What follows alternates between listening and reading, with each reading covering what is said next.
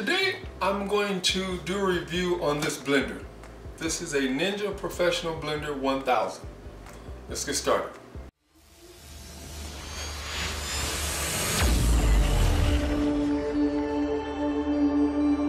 Okay, I'm going to start out by reading the description of the box, taking everything out of the box, and then we're going to blend something. On the front side, you just see the blender with uh, ice on one side, fruits and vegetables on the other side, total crushing technology 1000 watts. Professional 1000 watts. On this side, on one of the sides, it says Ninja Professional Blender 1000 Blast. Blast ice into snow in seconds, crush. Whole fruits, vegetables, and ice into delicious drinks, blend. Your favorite ingredients into delicious smoothies, dips, delicious sauces, dips, and smoothies. On the back side, it looks just like the front side. And then on the last side, let me zoom this in so you can get a better view of it. Okay, it says Total Crushing Technology. Total Crushing Technology delivered unbeatable professional power with blades that pulverize and crush through ice, whole fruits, and vegetables in second. You have the lid locks on, uh, built-in pour spout, the extra large 72 ounce pitcher, which is also BPA free, total crushing blades, again the 1000 watt motor, the easy clean control panel, which I'll show all this later, the cord, the storage box, and its sturdy non-slip base. So let me go ahead and take it out the box, see what this thing looks like. Oh, okay, as you're taking it out of the box, you have more uh, instructions on the top. Let me show you that. Uh, you have some smoothies, some drinks, some salad. It says inspiring healthy living, create nutritious and delicious meals and drinks conveniently at home. Get inspired with your new Ninja recipe guide includes 25 Ninja professional recipes.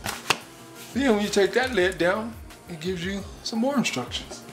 Right here it says, welcome, welcome to the Ninja family. For helpful product tips and questions, call us at they leave an 877 number. I'll leave that description. I'll leave that number in the description below. On this side, it says Ninja. Find more recipes and product information at www.ninjakitchen.com. I'll also leave that down low. Okay, here's your, this is probably your recipes and your instruction manual. Let's get to unboxing this. Pull this box out. This is most likely, this is your picture. It's probably on the side. Let me scoot back so you can see this a little better. Let's see. Oh, okay. You have your lid. Your lid is in here. Set your lid right there. Within the box. And like I said, it's just your picture. Nothing else is in this box.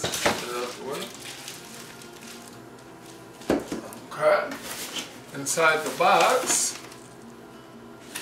is just the motor. Pull the motor out.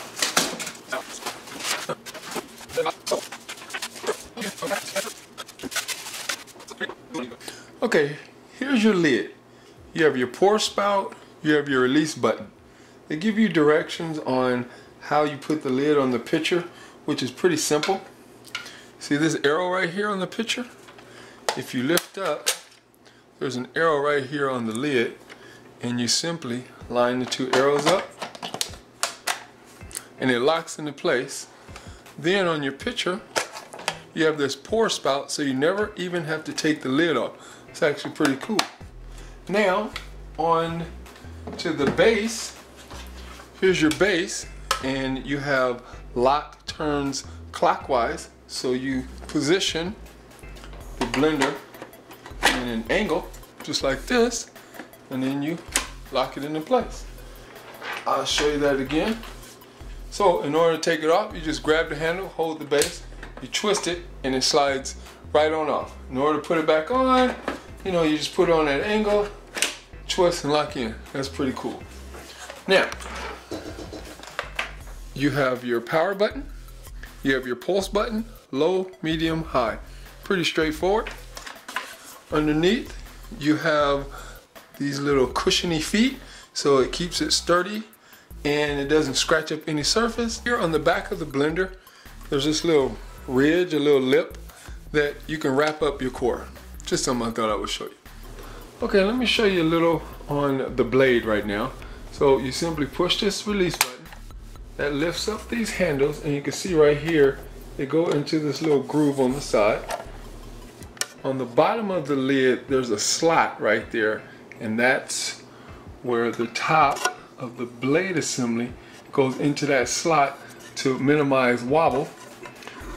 Pull your blades out and if you look at the bottom of your blade there's a star shape and then if you look in your picture you see that little star shaped cylinder and that's what your blade sits on and then once you put the lid on everything is locked into place and that's how they minimize the blade spinach. And right here on the picture you can see that they give you the measurements. And on the front you have liter and milliliter and then on this side you have ounces and cups. Okay here's another added benefit to being able to take your blade out. Once you have your lid off and you simply slide your blade out which again these things are extremely uh, sharp but since they're so sharp you don't want to clean them in there. You know if you have a towel uh, you sit simply just wipe them off. You could uh, easily clean your blade outside of uh, the pitcher. And since you have the pitcher out now you can take your rag and really wipe up in here. So that's another benefit of being able to take the blade out. Okay now that I've showed everything that was in the box took it all out explained all the features and everything let's go ahead and blend something. I'm going to wash this. Always wash before you use it. I'm gonna wash it and then I'm blending you up a little treat Okay, uh, I just got done cleaning the Ninja and now I'm about to blend something. But before I do that, I'm gonna show you some safety features. Let me get the camera and zoom it in so you can see. Okay, right here, here's your power button. I have it plugged in. There's no lid on, so when you hit the power button, it just blinks and it won't blend. It won't blend if the power, if the lid isn't on. See this little button right here? A little button? Right here on the lid. Underneath the lid right there that little pin closes down closes down into and pushes down on that pin and that activates the blender. So as you see the light is blinking soon as I close the lid, now it's ready to go. So what I'm do, I'm going to blend up a little mixture of, I have mango, strawberries, and pineapple with some orange juice. The mangoes, the strawberries, and the apples, I'm sorry, the mango, strawberry, and pineapple, they're frozen because I know this thing would blend some fresh fruit, so I want to challenge it a little bit. But before I do that, I'm just going to straight crush ice so you can see just what it can do. Right here, I just have some ice. I'm gonna dump the ice in, put the lid on, close it. So on power, I'm just gonna turn it on low. I'm just let it crush all this ice in low and you're gonna get to see just how loud it is and uh, see what it can do with the ice.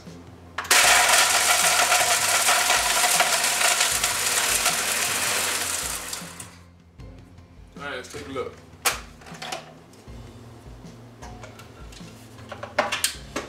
Rotate it.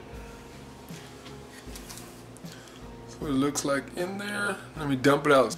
Make sure you keep uh, these blades away from you. Before I dump it, let me show you this blade.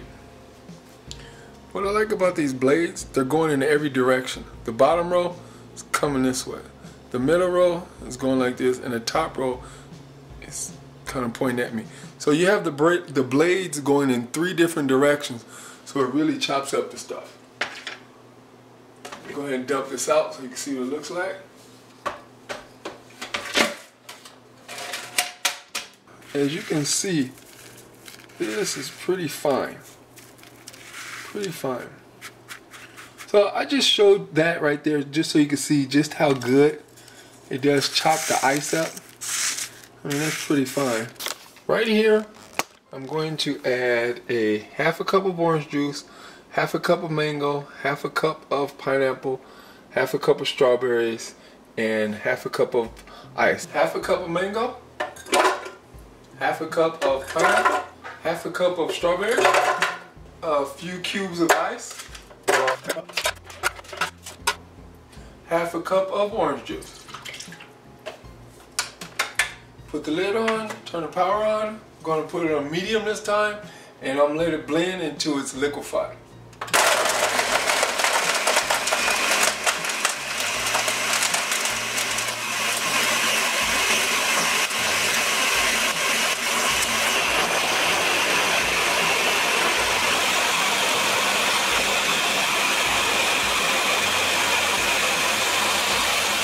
Okay, I added a little too much fruit, so I had to add a little bit more orange juice, and it is a little more liquefied. I'll let you see that. Okay, now it's done. Go ahead and use the little spout, pour it on out. You can see how it pours.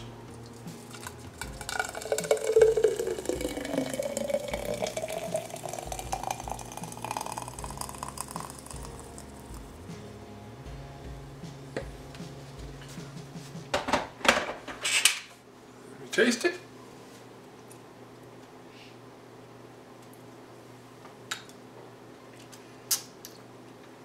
Tastes good to me. Um, it's not super, super smooth. I can taste a little bit.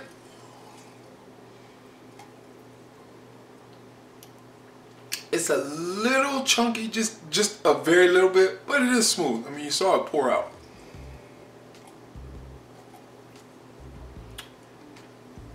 Let me finish drinking this, then I'll give you my final review. Okay, here are my final thoughts on this blender. I like it. By far, this is the best blender that I've ever owned. Uh, I have a few family members, they have the Blendtec and the Vitamix.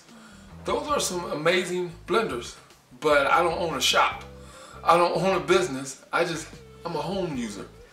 And for in the house, this thing is amazing. I like the picture. I like the pour spout. Uh, I like how you can wrap the cord up in the back.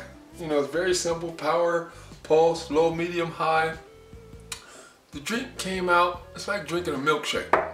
And that was, everything was frozen. So it's not like it was fresh fruit, which I'm pretty sure it would have liquefied that up even better. For me, this is a good machine. Uh, I don't know the longevity yet, we just got it, but for the amount we paid, uh, I can't remember the exact price, but it was somewhere between 60 and $80. This is well worth the money. Way better than your little uh, cheap blenders. I don't know if it's as good as your expensive blenders, but I know we will be keeping it, and uh, I'm glad we have it. Uh, as usual, I appreciate your time. Thanks for watching. If you have any questions, feel free to hit me up. Be sure to answer. Appreciate it.